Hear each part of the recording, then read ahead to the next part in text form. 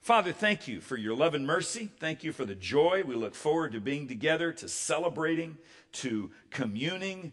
And today, God, as we open your word, help us to see your nature just a little more clearly. I pray that in Christ's holy name. And all that agree say, Amen. I'm going to ask you to get your Bibles out and open to the, sec- 20, the 20th chapter, not the second, but the 20th chapter of the book of Acts.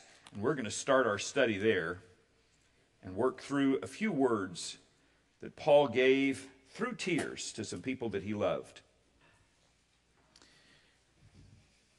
The preschool class had come to the point in the summer when they were going to do water painting, watercolors, finger painting.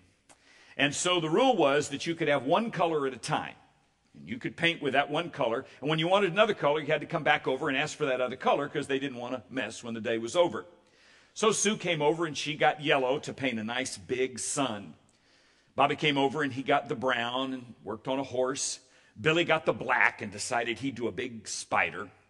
But Jerry kept coming over for different colors red, blue, orange, yellow, purple. And as the teachers looked, he was just, just going all over his little piece of paper with them and coming back just within a moment after he'd smear another color on. And the teacher walked over and said, Jerry, what is it you're painting? He said, I am painting God. And she said, Well, that's interesting. Um, Jerry, we don't know, nobody knows what God looks like. Without blinking an eye, he grabbed another color and said, Well, they will when I'm done, and just kept going at it. That's the goal of every preacher, I guess, and Bible class teacher ever. I would love to paint for you this morning the nature of God. That was the goal, I believe, of the scripture writers. And so they employed adjective after adjective to answer this question What is God like? Powerful, almighty, just, faithful, loving, compassionate, present, everlasting, holy. I mean, you could just rattle off adjective after adjective, and we've sung them and we've studied them. But the last few weeks have brought another adjective to the top of that list that may have been somewhere on there, but I don't remember using. God is generous. The most quoted verse in all of the New Testament. Anybody want to take a wild guess what the most quoted verse in all the New Testament is? For God so loved the world that he what? He gave. The first verb there, for God so loved that his desire for, for, for us prompted him to give.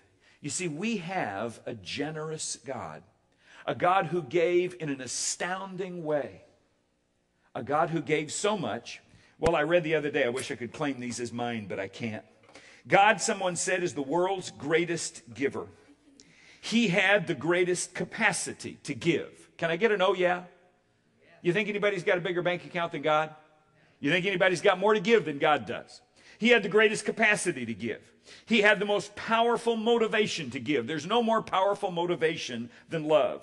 He faced the greatest need of all, and that is the lostness of all mankind, and he gave the greatest gift of all his son because he loves us so. Jesus taught that we have the ability to join with God in living a life of generosity. And one of the most powerful teachings of Jesus is one of the very few, in fact, it may be the only teaching of Jesus that you can't find in Matthew or Mark or Luke or John. Now, for those of you who know your Bible, you're saying, wait a minute, Matthew, Mark, Luke, and John, they're the four Gospels. They're the one that teach about Jesus in his life. So, where do you find a teaching that isn't in Matthew, Mark, Luke, and John?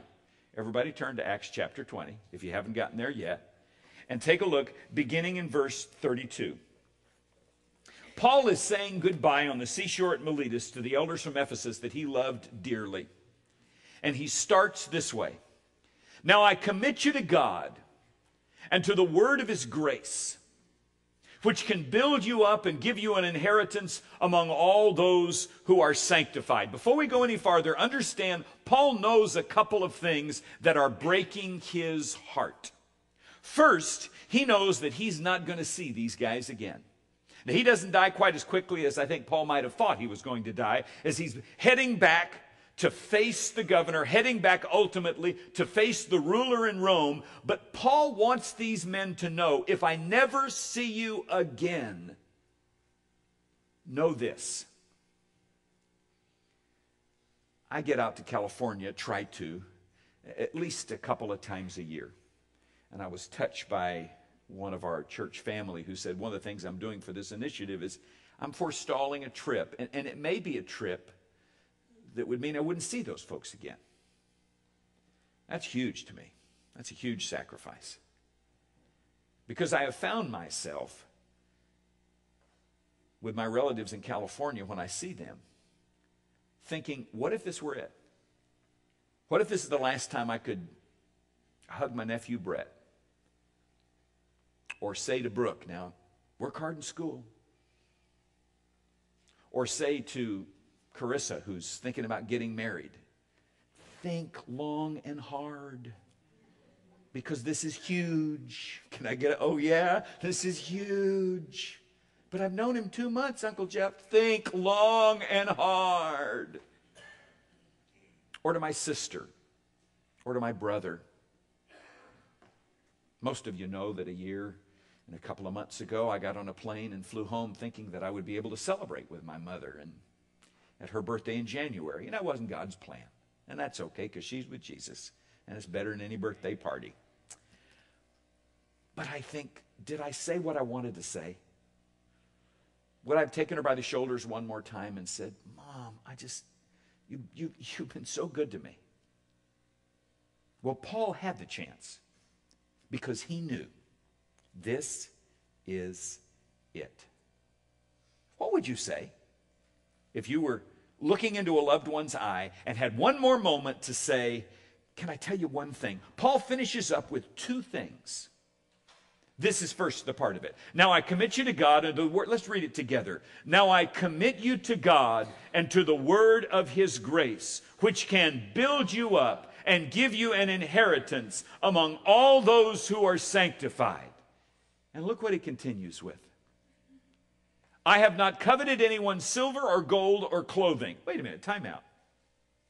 I'm really loving this speech as it starts. I commit you to God and the word of his grace that is able to build you up and give you an inheritance. Paul is pointing them towards heaven. He's saying God loves you and he's forgiven you and one day you'll be with him forever. And I can see these elders in Ephesus and I can see the tears on their faces and I can hear Paul's voice breaking. And then with the next sentence, he seems to take a big left turn and say, now listen, I want you guys to know I wasn't greedy. What? Well, I haven't coveted anyone's silver or gold or clothing. You know yourselves that these hands of mine supplied my own needs and the needs of my companions. What, what, what, Paul? Did you get all defensive on us? Did you just change subjects? And then Paul drops this gem in their laps that you won't find in Matthew, Mark, Luke, or John. Take a look at how it continues. In everything I did, I showed you that by this kind of hard work, we need to help the weak, remembering the words the Lord Jesus himself said. It is more blessed to give than to receive. Well, there it is. You think, what an interesting kind of one two combo he does there. I point you to God's grace that'll build you up and sanctified, and oh, by the way, live a generous life. Are these two disconnected? I want to unpack this for you in a way that surprised me as I was led to look at this text again, because they are not only not disconnected, these two are beautifully woven together by the Spirit as Paul was moved to say, This is what you need to know before you go. First, I commit you to God and the word of his grace. Paul's powerful love for God's grace is natural. He knows that we have a tendency to wander into self sufficiency. Paul's love for God's grace comes out of his own experience of God's grace. Everybody remember what Paul's name was before it was Paul? What was it? Saul. And most know that Saul means the great one, and that's who he saw himself as. But he was not simply someone puffed up with his own pride. He was someone so convinced of his own rightness that he was putting in prison and beating and, yes, even killing Christians in order to stamp out Christianity. Now, I've had some people come to me over the years and been part of churches where folks who have joined have had some pretty colorful background. I've known fantastic believers. In fact, got a piece of mail from one just yesterday and spotted that name and it triggered it. I remember when he went to prison. It was an embezzling case. He was a minister. And it was one of those moments when everybody just went, oh no you know the, the, kind of the kind of news that some people want to grab and trumpet and i knew this guy and he was a good-hearted guy and he just well sin is tempting if it weren't it wouldn't be so popular amen he just he just got tempted and he sinned and he got caught and he paid the price and he got out of prison and when he got out of prison he dedicated his life to service and he's continued to serve for many years. But can you be honest? When I see him, one of the things that hits my mind is what? That's that guy that went to prison. I know, I know. Love keeps no record of wrongdoing. But I could name certain names in the public arena, and as soon as I name them, certain things immediately come to mind. There are politicians and rock stars and comedians whose names will forever be linked to the darkest moment. And isn't that sad? Wouldn't you rather you link them to the best moment? Instead of somebody saying Pee Wee Herman and, oh boy, something comes to mind, right? And probably not a lot of the humor, but maybe that, oh yeah. Just like when I, when I, when I saw that minister's name on that piece of, of mail, I immediately, and he's a great guy, but I thought, oh yeah, I remember that. Now think about Paul. His wasn't just, well, he embezzled some money or he mistreated someone or even, well, you know, he told a lie and was caught in it, or he cheated on a spouse. No, no. Paul was, there's that guy that killed people because they believed in Jesus. I envision Paul at some kind of, I don't know, gathering in a city where he's speaking. I see him as an old man stepping up to the podium or, or standing in front of the house group as he begins to speak. And everyone's crowding around because they know this is Paul. This is the one that met Jesus. And as he finishes this presentation and as he tells the gospel story and as people come up and say, Would you baptize me? And I believe Paul would say, No, I won't, but this person here will. At one point, he says, I'm kind of glad I didn't baptize many of you because Paul didn't want them connected to him. And so as, as, he's, as he's talking to people after this visit, there's someone waiting at the back of the crowd crowd who waits until almost everyone else has spoken and they walk up and they say, I just wanted to look you in the eyes. You helped stone my mother. And I'm so glad to see you're a believer now. What do you think Paul thought about when he laid down that night? The 15 or 30 or 100 that said, I want to give my life to Jesus or that one voice saying, You killed my mom.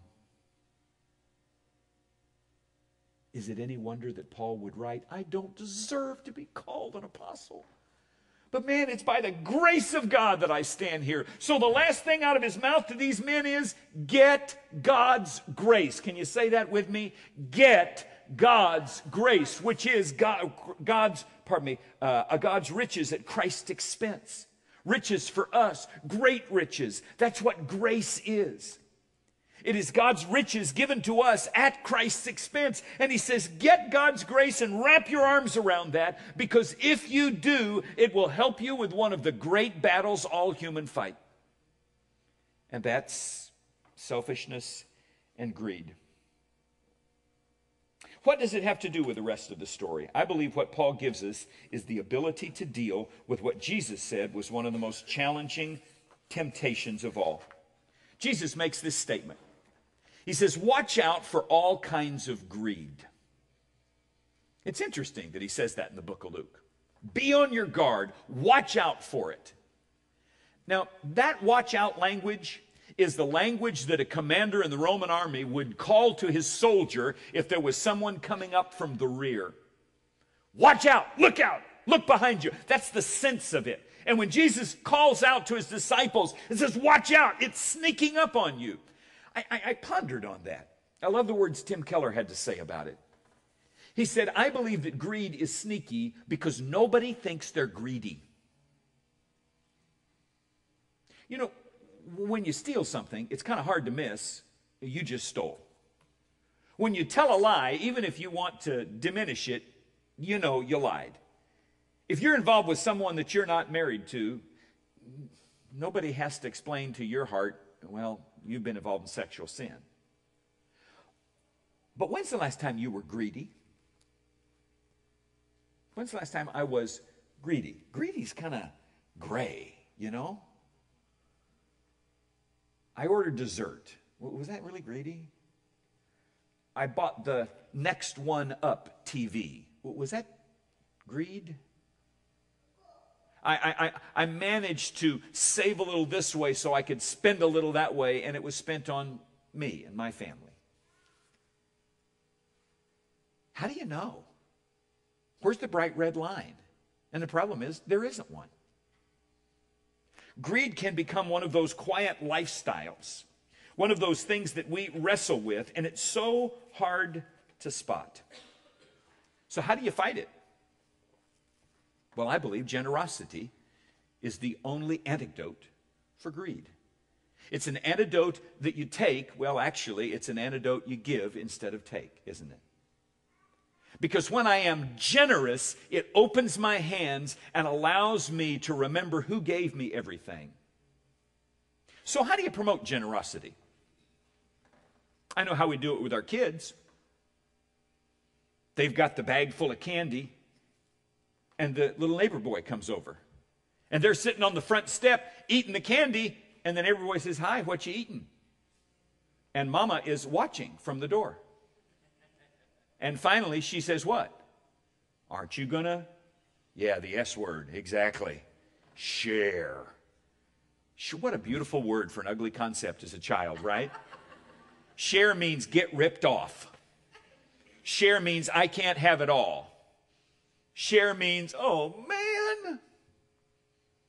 And wouldn't you love to believe it's just kids that struggle with that? Oh, when's the last time you were eating with someone you love? And you look down and they had one piece of pie left, one slice of one piece. And they'd gotten up to do something, and you thought, man, that's good. And you'd said, I'm not going to have any pie because you know, I'm cutting back.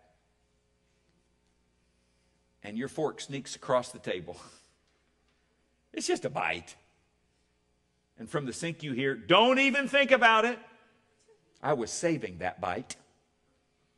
That bite's got all the extra cream on it. That bite's got the, the topping. Don't even touch it. I'm afraid I've done that. When's the last time you found yourself breaking the cookie and trying to break it exactly in half? What, what part of us is that that goes all the way back to the little boy sitting on the stoop with the candy? It's the part that says, I might miss out. If I give this to you, then, then I won't have it. It's the part that Satan spoke to when he said to the woman, Hey, you want to be like God? All you got to do is take that but God said I'm not. Oh, don't worry about that. You don't want to miss out, do you? It's how kids get involved in drugs, and it's how adult get, gets involved in extramarital affairs.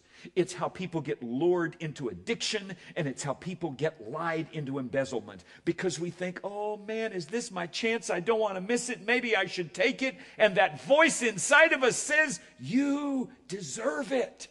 That's your cookie. That's your candy. And then for somebody to stick out their hand and say, Can I have some of yours? Paul says to these elders before he leaves them, Don't forget who gave you everything you've got. That's what grace is. Hebrew word uh, chan or hanan, depending on how you pronounce it, is the word for generous and gracious. It's the same word from which we get grace that gives us salvation, is the same word from which we get generous, which is being generous with someone. God is gracious.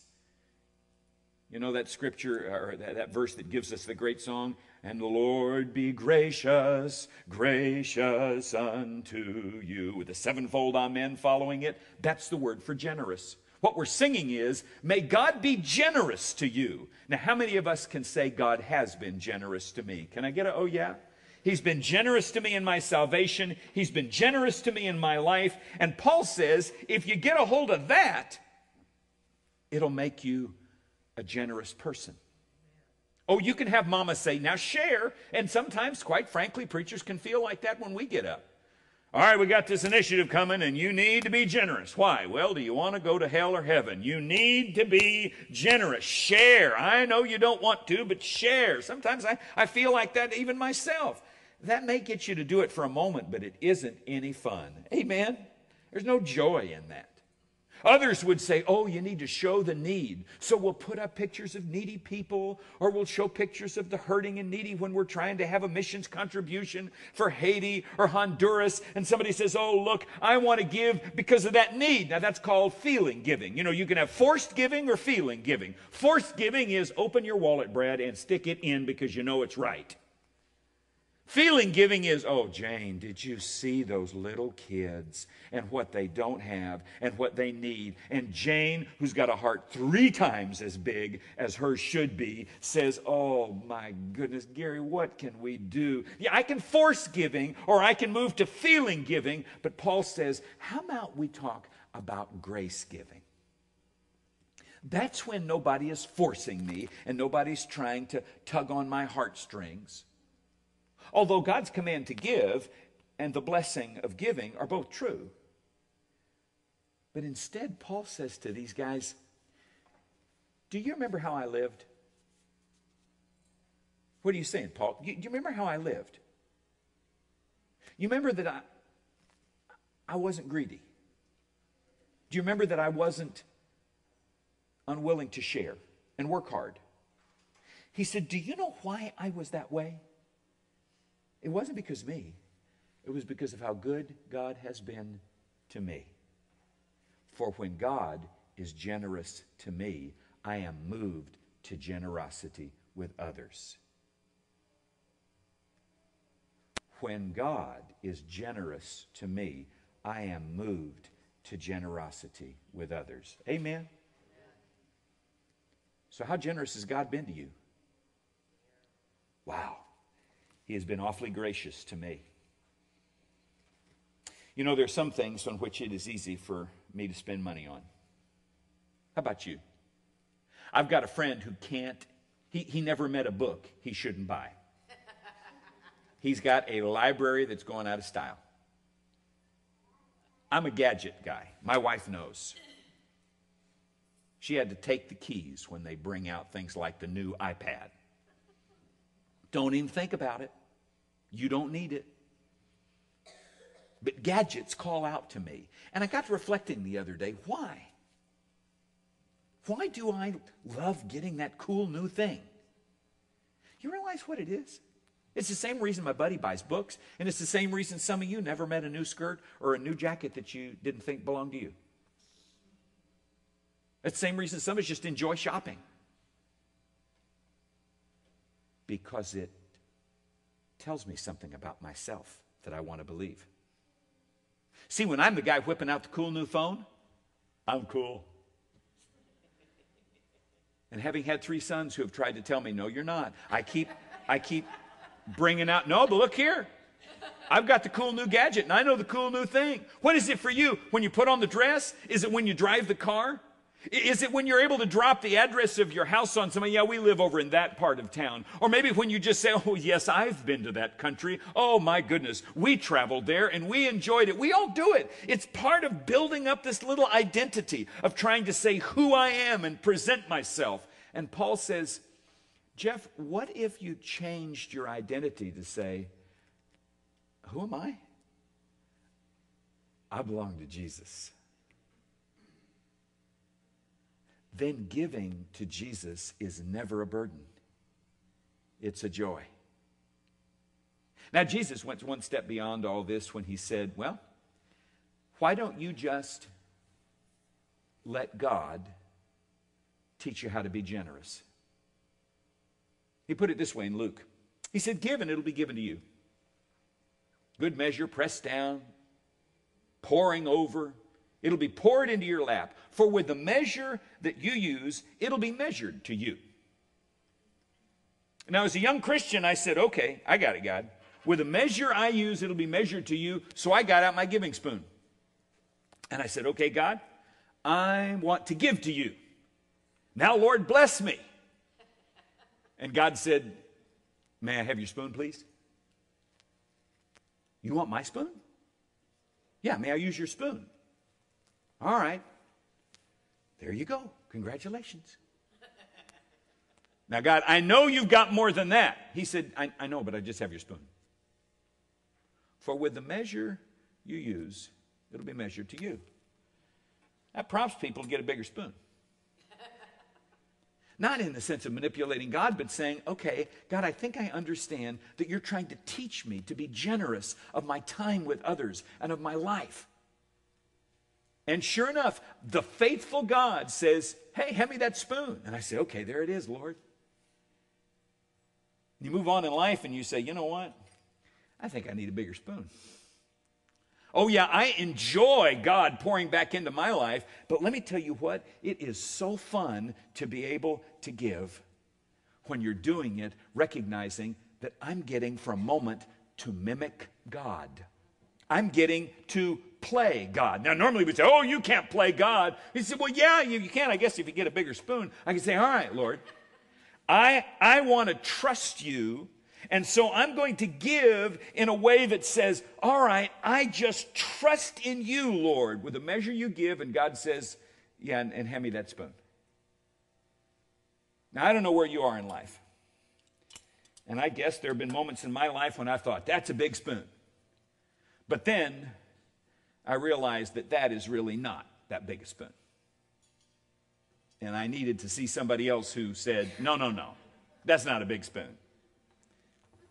That's a big spoon. There have been folks in this congregation over the years who have showed me the size of a spoon, who have been willing to say, you know what? I just trust God. One of them gave a testimony the other evening at our Pacesetters gathering where they said, Times when I didn't trust God, yeah, God said, Okay, here, you got that, you got your little spoon back out, don't you? Now, this is, a, this is a thing that causes some of us to be uncomfortable because we say, now, God is not like a Coke machine where you go up and say, okay, I'm going to put my gift in, God, chink, it's going to fall out. Not at all. But, folks, I didn't write that. Jesus did. Jesus spoke it. He's wanting to teach me to enjoy the process of trusting Him. And I suppose He's wanting to get me to the place where I say, Lord, I believe in you so much that this spoon just isn't big enough anymore.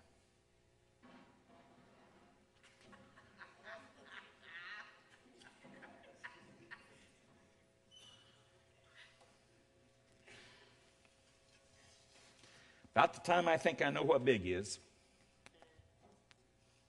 God pours so many blessings into my life that I think, my goodness, I do not deserve how good you've been to me. And the whole church said, Amen. So, what size is your spoon? Paul would say, You're asking the wrong question, Jeff. Just ask, How good has God been to you? I love the way a world famous Christian man and a, quite a good football coach put it. His name was Tony Dungy. Tony, uh, as most of you know, has a couple really nice rings from some championships, but he also has a place in his heart that will forever have a little bit of pain. Tony was to speak at a big Associated Press breakfast. And a month and a half before the breakfast, it's the big prayer breakfast that takes place before the Super Bowl. Tony's son committed suicide. Broke his father's heart, stunned many around him, although he had been struggling with addiction and difficulties. The group, family, um, I think it's Family Bookstores, was actually backing the, the, the prayer breakfast, made an assumption, contacted another speaker, and then sent word to Tony saying, We totally understand if you're not able to speak. And Tony Dungy said, Oh, no, no, no, I've got to speak. And so he came. I think it's important for us. Go ahead and roll it. To know that sometimes God calls on us to just speak out loud how good He has been to us. So in February, just a few years ago, a Christian man and a hurting father spoke these words. And sometimes pain is the only way that'll turn us as kids back to the Father. So we've learned a lot about that from my oldest son, James. As you heard, James would have been 19, uh, but he died right before Christmas. James was a Christian, and he was by far the most sensitive, the most compassionate of all our boys. Very, very compassionate, very sensitive. As most teenage boys today, uh, James was getting a lot of messages from the world that, that maybe that's not the way to be. And you've all seen them on TV, in the movies, the music they listen to, the magazines that they're able to read. And you get those conflicting signals and, and mixed signals. And he was struggling very much with how you should respond to the world. And he ended up taking his life uh, right before Christmas. And it was tough. It was very, very painful. But as painful as it was, there were some good things that came out of it. When I was at the funeral, uh, I talked about one of my biggest regrets. James was home for Thanksgiving and uh, was leaving, going back to school and, and going back to work. And just a normal process. You don't think about it. I said, hey, I'll see you later. My daughter took him to the airport. We just exchanged a, you know, see you later. And that was the last time I saw him. Talked to him on the phone a lot, uh, but never saw him again. And I shared at the funeral that my biggest regret was that I didn't give him a big hug the very last time I saw him. A guy, I met a guy the next day after the funeral, and he said, You know, I was there, I heard you talking. I took off work today. I called my son, and I said, I'm going to take you to the movies and we're going to spend some time and go to dinner. I've gotten a lot of letters like that from people who have heard what I said and said, hey, you brought me a little closer to my son or a little closer to my daughter, and that is a tremendous blessing. We were able to donate uh, some of James' organs uh, to the Organ Donors Program. Got a letter back about two weeks ago that two people had received his corneas and now can see.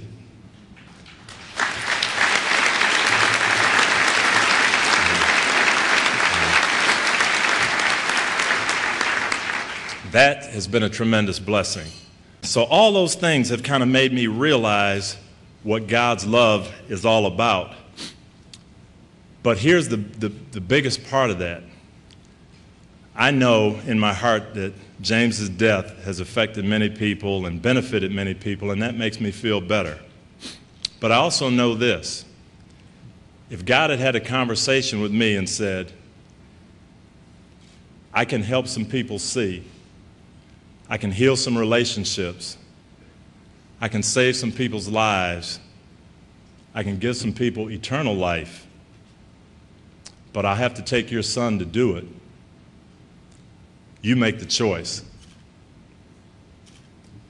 I know how I'd have answered that. I'd have said, No, I, am sorry. As, as great as all that is, I, I don't want to do that. And that's the awesome thing about God. He had that choice. And he said, Yes, I'm going to do it 2,000 years ago with his son Jesus on the cross.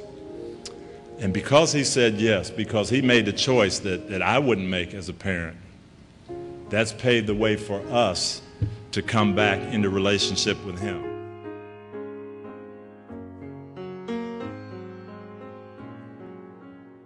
Holy, loving God, who gave your only Son. Father, we don't begin to have a spoon big enough for that.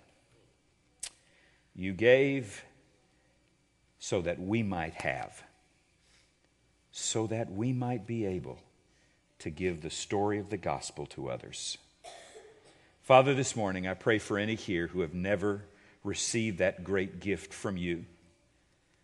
Father, who struggle to believe that anyone could love them that much. For anyone here, God, who's never been baptized into Christ, I pray that when we sing this invitation song, Lord, that they would step out and say, I want to cannonball in, not, not about giving of money first, but Father, about giving their heart and life to you. Lord, I pray for any here who feel like that, God, maybe they've wandered away and they've been hurting. Lord, I pray that when we sing this invitation song, they'd come forward and let you pour the blessing of grace, the grace that Paul commended those men he loved to, into their hearts and lives. But Father, may, may for each of us you send us out from here today knowing how much you've given. And Father, being motivated to be people who to our neighbors, who to our family, who to our church are willing to say, God has been so good to me. I want to give my life and love and resources to you. God, may we be half the givers you are. We pray that in Christ's name. And all that agree say, Amen. If you've never given your heart and life to Christ, while we stand and while we sing, if you're in need, this front row is open for you. Won't you come?